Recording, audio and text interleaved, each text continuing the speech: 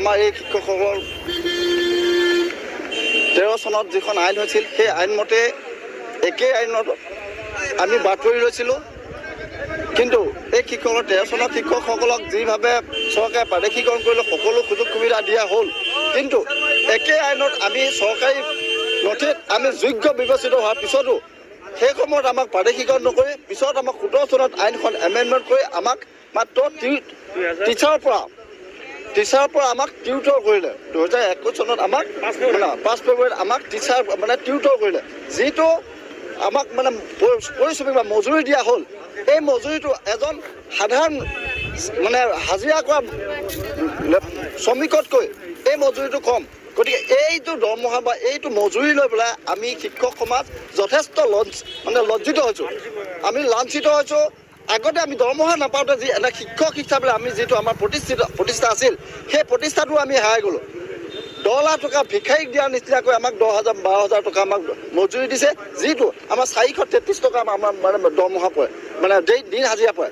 গতিকে আমাক যিটো মানে হাজিৰা দিয়ে এই শিক্ষকসকলে একে কোৱালিফিকেশ্যন একে হেৰি একেখিনি মানুহকে তেৰ চনত তেৰ চনত ফুল দৰমহা দিয়ে ফুল গোটেই সুবিধা দিয়া হ'ল। কিন্তু একেখিনি মানুহকে একেখন আইনৰ দ্বাৰা বিবেচিত হ'ল এইখিনি মানুহ আইনত মানে চৰকাৰ নথিত মানে যোগ্য বিবেচিত হ'ল। কিন্তু চৰকাৰে সেইখিনি সময়ত প্ৰাদেশিকৰণ নকৰিলে পিছত বিভিন্ন অজুহাত দেখুৱাই এই শিক্ষকখিনিক আকৌ আজি আমাক মানে হাজিৰা দিয়া ব্যৱস্থা কৰিলে।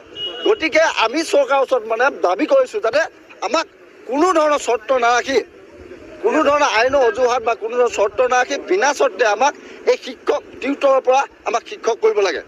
চ অসম চৰকাৰে স্কুল প্ৰাদেশিকৰণ আইন নাইনটিন ছেভেণ্টি টু আইনখনৰ মতে স্কুল প্ৰভিঞ্চিয়েলাইজ হ'লে স্কুল প্ৰভিঞ্চিয়েলাইজ হোৱাৰ তাৰিখৰ আগত ডেৰ বছৰ দুবছৰ পইচা এডভান্স দিয়ে। আৰু দুহেজাৰ তিয়া ঊনৈছশ তিৰাশী চনত স্কুল প্ৰভিঞ্চিয়েলাইজ কৰিলে তেতিয়াৰ পৰাই দৰমহাটো ধৰি দিছিল ফুল দৰমহা আৰু দুহেজাৰ বিৰানব্বৈ চনত যি স্কুল প্ৰভিঞ্চিয়েলাইজ হৈছিল তেতিয়া ফুল দৰমহা দিছিল।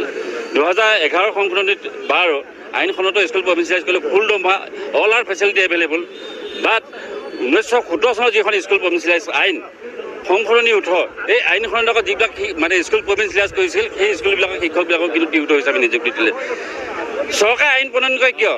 জনসাধাৰণৰ সুৰক্ষাৰ কাৰণেহে আইন প্ৰণয়ন কৰে। যে চৰকাৰে আইন কৰি এই শিক্ষকসকলক দুৰ্যোগৰ মাজলৈ সোমাই দিলে কিয়? যে শিক্ষক যদি স্কুল প্ৰভিঞ্চিয়েলাইজ নকৰোঁতে শিক্ষক আছিল স্কুল প্ৰভিঞ্চিয়েলাইজ হোৱাৰ পিছত টিউটৰ কেনেকৈ হ'ল? কওকচোন বাৰু। আৰু এই স্কুলবিলাক ৰাইজে মানে প্ৰতিষ্ঠা কৰা স্কুল। ভাৰতবৰ্ষ এখন গণতান্ত্ৰিক ৰাষ্ট্ৰ গণতান্ত্ৰিক ৰাষ্ট্ৰত যদি ৰাইজে কৰা কামখিনি যদি প্ৰযোজ্য নহয় চৰকাৰে কোনখিনি ৰাইজৰ কাম কৰিব? গতিকে গণতান্ত্ৰিক ৰাষ্ট্ৰত জনসাধাৰণৰ যিহেতু মত সাপেক্ষে এখন ৰাষ্ট্ৰ বৰ্তি আছে গতিকে জনসাধাৰণে প্ৰতিষ্ঠা কৰা স্কুলবিলাক ফুল প্লেজ হ'বই লাগিব। আৰু চৰকাৰে আমাক এইটো বৈষম্য কৰাৰ কোনো কাৰণ নাই। আজি শিক্ষকবিলাকৰ যিমানখিনি অভিজ্ঞতাৰ কথা কৈছে কোনজন এম এল এ মিনিষ্টাৰ ইমান অভিজ্ঞতা আছে? তেওঁলোকে যদি ফুল এজন এম এল এ পাঁচ বছৰ চাকৰি কৰিলে কিন্তু পেঞ্চন পায়। কিন্তু আমাৰ শিক্ষকবিলাকে কি হ'ল আজি ত্ৰিছ বছৰ চাকৰি কৰি কিন্তু টিউটৰ হিচাপে পালে দহ হাজাৰ বাৰ হাজাৰ টকা দৰমহা পায়। সেইটোতো সম্ভৱ নহয়। চৰকাৰৰ চকুত তেল মানে টিউটৰ হেৰি কি স্কুল প্ৰমিচিয়াইজ কৰিলে কি পানী দিয়ে নেকি? গতিকে চৰকাৰে যেনেকৈ নিজৰ সুবিধাখিনি আদায় কৰিছে ব্যক্তিগত ঠিক তেনেদৰে শিক্ষকবিলাককো যাতে চৰকাৰে উপযুক্ত সুবিধা দি জীৱন নিৰ্বাহ কৰাত সহায় কৰে এইটোৱে মোৰ চৰকাৰৰ ওচৰত ক'বলগীয়া। মোৰ নাম হীৰামাই শইকীয়া মই কাৰ্বি আংলং জিলাৰ দেনগাঁও ইংলিছ হাইস্কুলৰ এছিষ্টেণ্ট টিচাৰ টিচাৰ বুলি ক'বলৈ এতিয়া আমাৰ বেয়াই লাগে। কাৰণ আমাৰ চৰকাৰে টিউটৰ কৈ থৈছে আমি বহুত লাজ অপমানত জীয়াই আছোঁ। প্ৰতি পদক্ষেপতে আমি লাজ অপমানত জীয়াই আছোঁ। আমাৰ দৰমহা কম আমাৰ ল'ৰা ছোৱালী পঢ়াবলৈ এতিয়া নোৱাৰা অৱস্থা হৈছোঁ। তাৰোপৰি আমাৰ এতিয়া বহুত টিউটৰ কি হৈছে ৰিটায়াৰ্ড হৈ গৈছে। তেওঁলোকে জানো এতিয়া বি এড ফিফটি পাৰ্চেণ্ট কৰিব পাৰিব আৰু মন্ত্ৰী এম এল এ কেইজনে আমাক আমি জানিব বিচাৰোঁ আমি অপেনলি জানিব বিচাৰোঁ মন্ত্ৰী এম এল এ কেইজনৰ পাৰ্চেণ্ট আছে। বি এড কেইজন B A B A pass কৰা আছে? আমিও জানিব বিচাৰোঁ। তেওঁলোকে যে পেঞ্চন পায় কিমান লাখ লাখ টকা পায় আমি কিয় নাপাওঁ? শ্ৰদ্ধাৰ মুখ্যমন্ত্ৰী মহোদয় আৰু শিক্ষামন্ত্ৰী মহোদয়ক আমি এই আন্দোলনৰ যোগেদি জনাব বিচাৰোঁ যে আজি আমাক টিউটৰ বনালে কিন্তু এই টিউটৰবিলাকে যেতিয়া দুই হাজাৰ তেৰ চনত স্কুল প্ৰাদেশিকৃত হৈছিলে তেতিয়াৰ আইনৰ আধাৰতে আমি দ্বিতীয় ফেজত আছিলোঁ আৰু আকস্মিকভাৱে আমাৰ দ্বিতীয় ফেজৰ শিক্ষকখিনিক কিন্তু বঞ্চিত কৰি দিলে। কোনোভাৱে আইন আহি গ'ল আৰু আমি টিউটৰ হৈ আমি বঞ্চিত হৈ পৰিলোঁ। পাছতে আমাৰ কিয়নো দুই হাজাৰ পোন্ধৰ চনত আমাৰ এই ডিৰেক্টৰ অফিচৰ পৰাই আমি ইলিজিবল বুলি ডিক্লিয়াৰ হৈছিলে।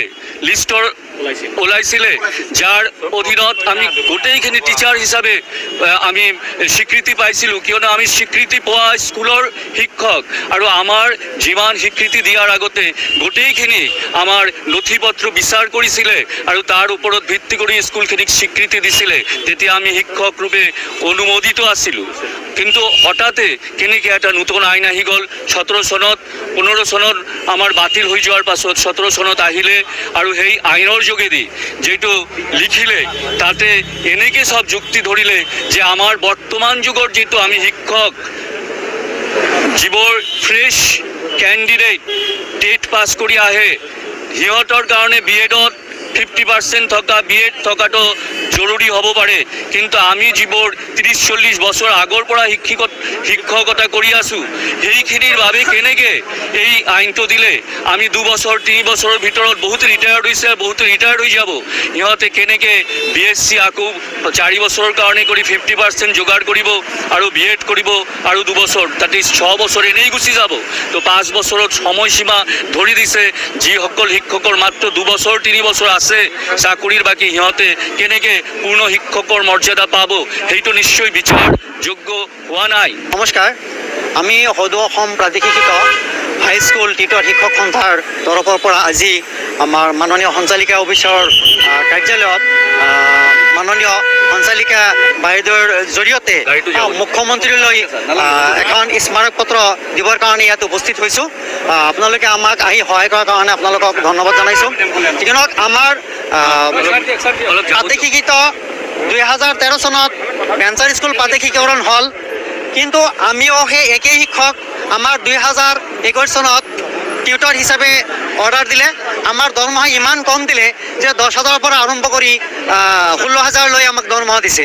গতিকে দহ হাজাৰ টকা এঘাৰ হাজাৰ টকা বাৰ হাজাৰ টকা ষোল্ল হাজাৰ টকা দৰমহাত এজন মানুহ ইমান বজাৰত বস্তু জুই চাই দাম এইখিনি সময়ত জানো এইখিনি টকা চলে নেকি?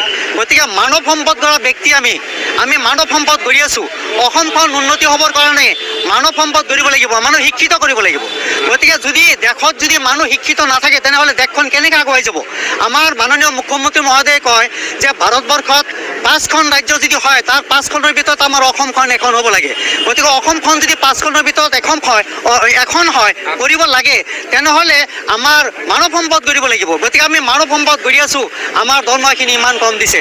আজি চাওক গুৱাহাটীত হওক বা যিকোনো ঠাইত হওক যদি হাজিৰা কৰিব লাগে হাজিৰা কৰা ব্যক্তি এজনৰ মানে দিন দিন দিনত মজুৰি হয় পাঁচশ ছয়শ সাতশ আঠশ লৈ আছে। কিন্তু আমাৰ দৰমহা নিদি আমাৰ মজুৰি দি আছে মাত্ৰ চাৰিশ টকা দি আছে মজুৰি। চাৰে চাৰিশ টকা মজুৰি দি আছে। এই মজুৰি পাই এজন শিক্ষকে কেনেকৈ মানৱ সম্পদ গঢ়িব বাৰু নিজৰ পৰিয়ালটো কেনেকৈ সুৰক্ষা দিব? গতিকে সেইখিনি আমি আজি এইখন অফিচৰ জৰিয়তে বাইদেউৰ জৰিয়তে মুখ্যমন্ত্ৰীলৈ আমি স্মাৰক পত্ৰ প্ৰদান প্ৰদান কৰিম। সেইকাৰণে আমি ইয়াতে উপস্থিত হৈছোঁ।